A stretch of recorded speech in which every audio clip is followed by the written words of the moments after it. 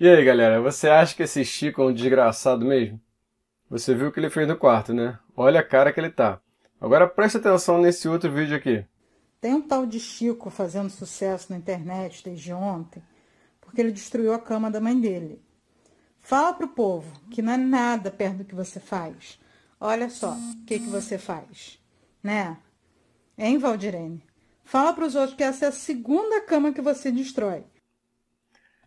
E aí, gente, o que, vocês perceberam aí de igual nesses dois vídeos, né? São dois cachorros aí que realmente destroem a casa, particularmente a cama, né? E tem um motivo muito sério por trás disso, tá bom? Pode ser engraçado, né? Pode ser bonitinho até pra gente ver essa carinha de culpa que eles fazem, mas é, por trás disso tudo eles estão sofrendo de uma coisa chamada ansiedade de separação. Nesse vídeo a gente vai falar então das oito dicas para diminuir a ansiedade de separação do seu cachorro. Comigo, Alexandre Figueiredo. Vamos lá?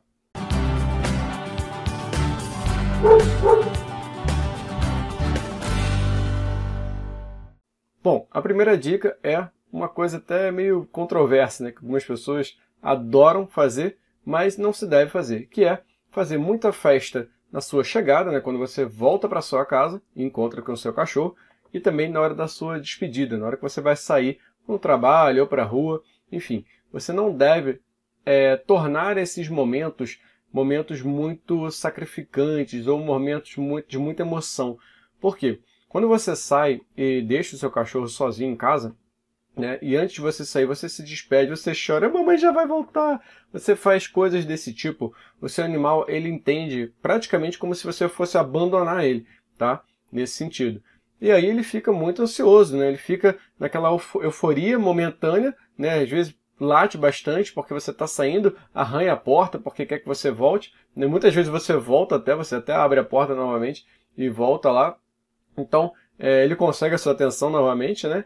E acaba que isso é muito ruim para ele, porque ele vai passar aí um tempo é, andando pela casa, vai latir, vai incomodar os vizinhos, então de repente, às vezes, é, você já está tendo reclamação de vizinho porque seu cachorro fica latindo. Muitas vezes é por conta disso, tá? Porque ele está ansioso, ele está querendo você de volta, né? E é, ele vai ter que arranjar alguma coisa para fazer. Então, nesse caso aí, eles tendem a destruir é, as coisas que estão mais próximas de você, ou seja, que tem mais o seu cheiro, né? Justamente para que é, eles se sentem mais confortáveis quando eles estão perto de você ou perto de algo que lembre você. Então, no caso aí, é, a cama, né, o celular, um controle, um sofá, uma almofada, esse tipo de coisa ele vai ter é, preferência para destruir, vamos dizer assim. Então, é uma dica importante, tá? E como que você pode fazer? Ah, tem muita gente que fala assim, meu cachorro já sabe que eu vou sair porque eu pego a chave, ele já sabe que eu vou sair, às vezes já vai até lá para o cantinho dele, fica quietinho lá, tem outros que quando a, a mulher vai pega a bolsa para sair, ou está se arrumando e tal, nesse ritual o cachorro já fica mais cabisbaixo, né, ou já fica mais em cima, já fica mais ansioso. Então, como que você pode fazer para disfarçar esse momento? Você pode e deve fazer pequenas saídas sem falar com o seu cachorro. Simplesmente vai, abre a porta, sai, desce, vai na padaria, volta. Não adianta também você ficar do outro lado da porta porque ele vai saber que você está ali, ok? É, então você tem que sair realmente, dar uns 5, 10 minutos e voltar. E quando você voltar, ignora, ele vai pular, vai fazer festa e tal, ignora, vai na cozinha, bebe uma água. Depois que você chegou, dá uns 5 minutos depois que você chega, aí você dá uma atenção maior para o seu cachorro. Tá? Mas assim que você abre a porta, entra, não fale com o seu cachorro, nem olhe para a cara dele, tá? por mais cruel que possa parecer. Tá bom? Mas ele vai começar a perceber que uh, a sua saída e a sua chegada não são algo mais tão é, importantes assim. Então, você vai baixar um pouquinho essa ansiedade dele, tá bom? Segundo, gaste a energia dele antes de você sair, tá? Isso funciona muito bem também. E você pode fazer aqui duas coisas bem básicas. A primeira delas é você sair com o seu cachorro para passear. Então, dá uma passeada aí de 15, 20 minutos, meia hora que for, tá? Deixa ele andar, deixa ele cheirar, deixa ele interagir com outros animais. É, volta para casa e depois disso você sai. Com isso, seu animal já vai ter dado uma espairecida, vamos dizer assim, né? já vai ter sentido novos cheiros, então isso daí vai fazer com que a ansiedade dele abaixe também, ele vai ficar um pouco mais tranquilo aí por pelo menos aí uma hora, coisa do tipo, talvez até um pouco mais, tá? Outra coisa é brincar com ele. Se você não tem hábito de sair com seu cachorro, o que é uma coisa ruim, tá? Já deixo aqui a minha indicação, saia com seu cachorro pelo menos duas vezes por dia. É, então você pode brincar com ele com alguma coisa que ele goste. Né? Jogar uma bolinha, um paninho, um cabo de guerra, alguma coisa que ele goste de fazer é, para entreter e gastar energia. Então ele tem que gastar essa energia é, antes de você sair, porque depois que você sai, a tendência é que ele vai lá deitar, vai dar uma descansada, então ele vai ficar relaxado aí também por mais um tempinho aí, antes dele realmente sentir a sua falta, tá bom? terceira dica é que você deixe brinquedos interativos para ele, ou seja, para ele se distrair. Ao invés dele estar tá aí comendo a sua cama, né, ou a sua almofada, ou o que for, ele vai estar tá aí brincando com esses brinquedos. Qual é o grande barato desses brinquedos? Você pode preencher é, o conteúdo deles com petiscos. Então ele vai ter uma coisa gostosa ali, ele vai ter uma coisa que ele vai querer passar um tempo ali. Ele gasta bastante tempo nisso, tá? Eu tenho até um aqui comigo, não estou fazendo propaganda, mas é o Kong, né, que é o vermelho aí da foto, exatamente esse modelo aqui. Tá? Ele é bem firme, ele é bem duro, ele aguenta bastante coisa. E ele tem esse buraco aqui, né, então você consegue colocar o petisco aqui. Você pode colocar até a ração dele também, se ele gosta muito da ração.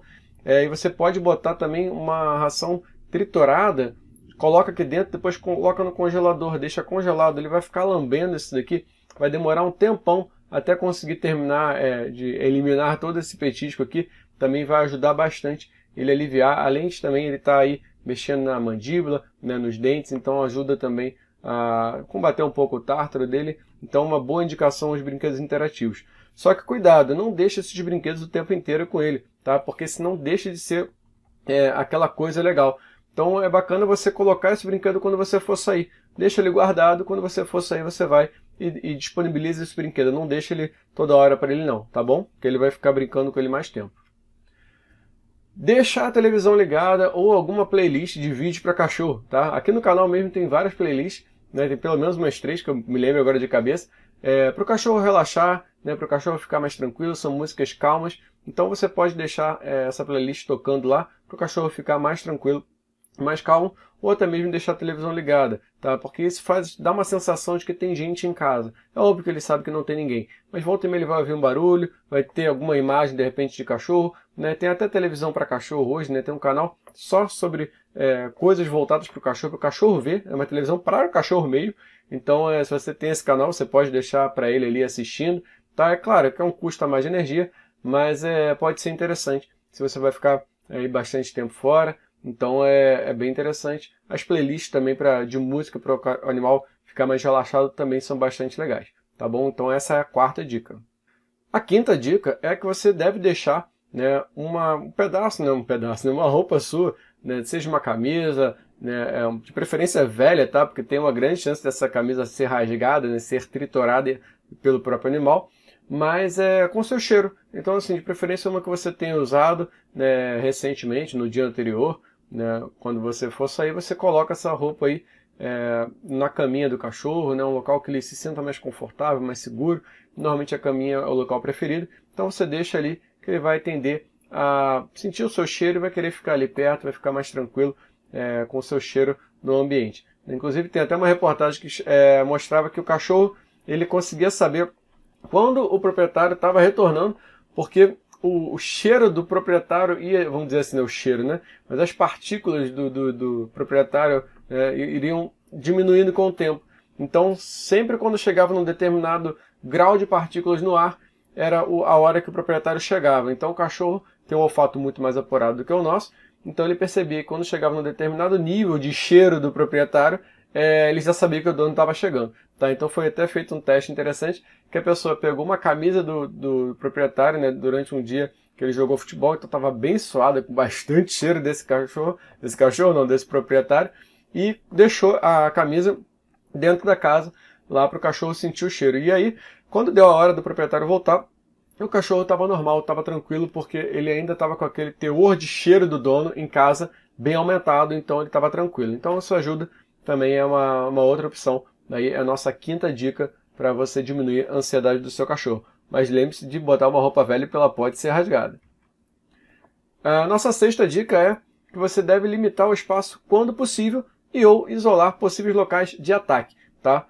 É, ah, mas aí eu gosto de deixar, meu cachorro vai ficar sozinho, a casa é pequena. Se você tem uma condição assim, de você tem pouco espaço, e aí você não quer, por exemplo, fechar o seu quarto, né? deixar a porta do seu quarto fechada, porque senão ele vai entrar lá e vai destruir a cama, como esses dois fizeram, né? O Chico e a Valdirene. É, então, se você não tem condição de fechar uma porta, tenta pelo menos é, dar uma oportunidade menor para esse cachorro destruir as coisas.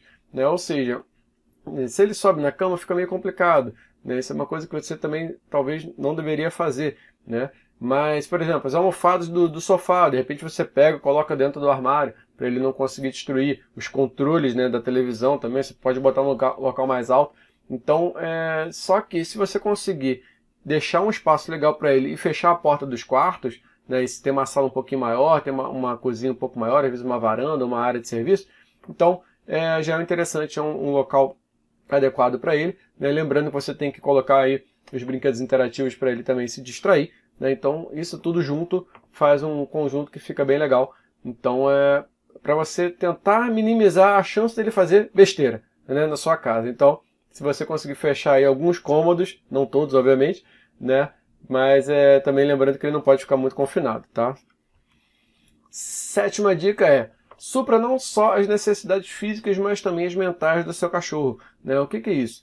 É quando você as necessidades físicas, é, quando você vai, por exemplo, para passear, você está andando, você está fazendo um exercício físico com o seu cachorro, mas você também tem que estimular a mentalidade do seu cachorro, tá? Ou seja, quanto você mais é, estimula o seu cachorro a fazer coisas, dar comandos, né, ensinar ele a sentar, a deitar, a esperar, a procurar alguma coisa, a te seguir, entendeu? Qualquer comando que você faça com ele, se você treinar ele antes de sair de casa, naquela parte de brincar com o cachorro, sabe?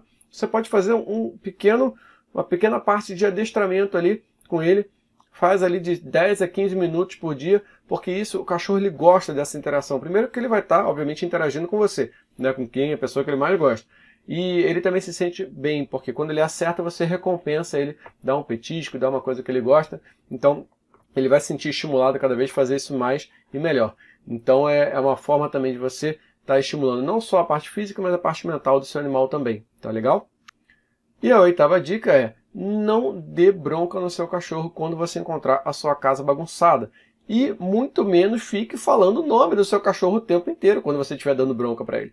Porque é, é tudo que ele mais quer. Ele quer atenção. É um cachorro que está ansioso, tá? ele está com aquela síndrome da ansiedade de separação então quando você chega e chega dando bronca, falando o nome dele para ele, tá ótimo, ele tá ganhando a sua atenção, ele tá ouvindo o nome dele, que é a coisa que ele adora ouvir também, né? Então você tá lá falando com ele, no caso da dona do Chico, né? Chico, você destruiu a minha casa, Chico, porque você fez isso, Chico, Chico. Fala o nome do Chico mais 20 vezes no vídeo.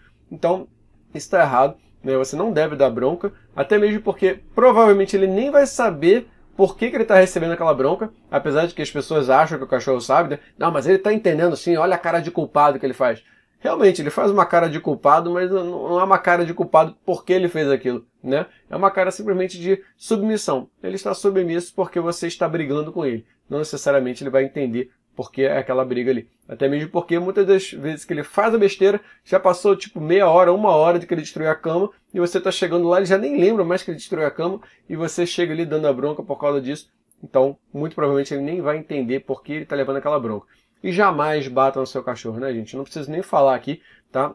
Mas eu vou falar, porque se você bate no seu cachorro por conta de algum problema que ele fez, alguma coisa que ele destruiu, primeiro, se ele tem uma tendência a ser agressivo, tá? ele vai começar realmente a ficar mais agressivo e ele pode começar a ficar agressivo primeiro com outras pessoas e depois até com você mesmo. Então ele pode revidar e vir querer te morder, tá legal? E se ele tem uma tendência a ser um cachorro mais medroso, ele vai ficar cada vez mais medroso e vai ficar mais encurralado, mais esquio, e um cachorro com medo também se torna agressivo. Então as duas coisas aí estão meio andando juntas, tá? Então não faça isso, tá legal? Simplesmente engula, respira, tira dali né, e entenda, né, começa a refletir no que, que você pode fazer para melhorar, para dar mais condições do seu cachorro é, interagir, é, brincar, gastar as energias para não gastar fazendo as coisas que ele está fazendo aí, destruindo a sua casa. Tá legal? Para concluir, tá? Depois eu vou botar aqui os três vídeos completos para você ver o que, que eles fizeram, se você ainda não viu. Tem um vídeo que eu acho que talvez você ainda não tenha visto, mas vamos lá. Se você não quer um cachorro sofrendo com ansiedade de separação, não mime demais ele, tá ok? É, as pessoas, elas hoje tratam muito o seu cachorro como um filho. Só que não é um filho comum, é um filho extremamente mimado. Tá? Aquele cachorro pode fazer o que ele quiser. É, uma reportagem mesmo, a pessoa diz que ah, porque eu dou tudo para esse cachorro, ele tem a melhor ração, ele tem a melhor caminha, ele tem isso, ele tem aquilo, ele tem isso, ele tem aquilo. Mas ele tem realmente o que ele necessita ou ele tem coisas que você acha que ele gosta, né? Então, se você não está suprindo ele com os passeios, se você não está suprindo ele com a sua atenção mesmo de brincar, de interagir, né? se você não está suprindo ele com outras formas dele se satisfazer, né? então você necessariamente não está cumprindo com tudo que ele precisa. Tá? Então, fique atento a isso e antes de você dar bronca nele, reflita e ver o que você pode fazer para mudar esse comportamento dele. Tá? Ofereça não só o básico para o seu cachorro, né? ou seja, como alimentação, água, abrigo, cuidados veterinários, mas também os estímulos mentais e físicos, como a gente já comentou aqui. Né? Então, sair para passear é fundamental. Seu cachorro vai sentir novos cheiros, vai fazer interação com outros animais, tá? com outras pessoas. Então, ele vai se tornar um cachorro é, mais relaxado naturalmente, tá bom? E os estímulos mentais também são muito legais, assim, fazer alguns truques de adestramento, coisas do tipo também são muito bacanas para o animal também se exercitar mentalmente. Cachorro cansado é um cachorro feliz. Isso é uma frase aí clássica, os adestradores falam muito isso, porque quando ele está cansado significa que ele já fez exercício, né, que ele já passeou, então ele vai descansar. Né? Então, se você sai com ele cansado, quando você sair, ele vai descansar, então vai gastar um tempo até se recuperar, ganhar energia de novo para poder destruir a sua casa, vai demorar, e a ideia é que ele não destrua a sua casa e vá pegar algum brinquedo interativo, alguma coisa para fazer e não destruir a sua casa. Se o seu cachorro destrói a sua casa, a culpa provavelmente é mais sua do que dele, tá bom? Então isso aqui é só para você ficar atento a isso, né? Porque provavelmente a culpa é mais sua, porque você mima ele demais, você deixa ele fazer o que ele quiser, você dá atenção demais a ele nos momentos errados, né? E você faz tudo o que ele quer. Então você tem que começar a rever um pouquinho esse seu conceito aí, tá? De mimar demais esse animal porque ele está sofrendo. Quando você sai, ele sofre muito com a sua ausência, tá bom? Então não era para ele estar tá sofrendo assim por mais que ele goste de você, se ele é um cachorro equilibrado, se ele tem as necessidades básicas e físicas e mentais deles atendidas, ele vai, tá, vai ser um cachorro mais tranquilo e mais sociável, inclusive, tá bom? Então, lembre-se disso, que se você tá com um cachorro bagunceiro, destruidor em casa, provavelmente a culpa é sua, tá bom? Ah, e um ótimo detalhe aqui muito importante. Ter um cachorro é assumir uma responsabilidade muito grande. Então você tem que estar preparado para isso. Não só com os custos né, de ração, de veterinário, de vacinas, enfim, de tudo, né, mas também com o seu tempo que você vai doar para ele. Tá? Não é só simplesmente comprar o cachorro, deixar ele em casa e ficar 12 horas fora. Tá bom? Você tem que ter a ciência disso né, e saber que você vai precisar dedicar um tempo para ele também. Tá? Então é muito legal ter um cachorro, é um barato ter um cachorro, mas você tem que saber isso. Só que você tem que dosar isso, porque tem gente que acha que tem que mimar extremamente cachorro e aí você começa a fazer o contrário, você começa a causar problemas por excesso de cuidado, tá bom? Por excesso de zelo, tá? Então preste atenção nisso também. Então, se você gostou, deixa aí o seu like, né? Se inscreve no canal se você ainda não está inscrito. Se quiser, ativa o sininho aí também para você receber as notificações dos próximos vídeos. E agora eu vou deixar aqui os três vídeos inteiros e para você ver se você se identifica aí também, perceba os erros que as proprietárias cometem. Coitado, elas não sabem né, disso, mas é, agora você vai poder identificar aí um pouquinho mais de calma né, e até achar um pouquinho mais de graça também desse vídeo, tá bom? Grande abraço e até a próxima. Meu Deus, eu quero chorar! Tem que soltar? Não! Eu não tô... Gente, olha isso! Olha o meu quarto, Chico! Chico! Desgraçado! Desgraçado! Olha o que você fez no meu quarto, Chico! Chico! Meu, olha o controle! Meu, não dá, eu vou devolver esse filho. Oh, não tem mais condições! Não tem! Olha a minha cama! Olha a minha cama! Meu, é um demônio! É um demônio! Chico, você é um demônio! Olha o que você fez no meu quarto!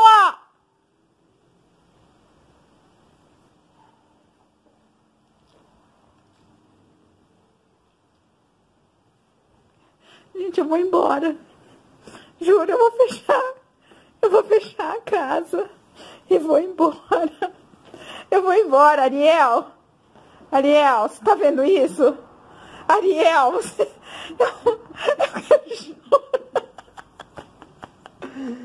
Tem um tal de Chico fazendo sucesso na internet desde ontem, porque ele destruiu a cama da mãe dele. Fala pro povo que não é nada perto do que você faz. Olha só o que, que você faz, né? Hein, Valdirene? Fala para os outros que essa é a segunda cama que você destrói. Que eu te tirei da rua, mas a favela não sai de dentro de você. Que você faz isso com as coisas. Ó, faz um buraco não adianta botar capa no colchão, que ela faz o buraco e se enfia ali. Né, Valdirene? Você é parente do Chico, Valdirene? Conta pra mãe. Hum? Conta. Mostra que tem buraco. Já deu um nó aqui, que tem buraco. Tá tudo roído de Valdirene. Essa cara de santa apronta tudo também, né, filha? Mas a mamãe te ama.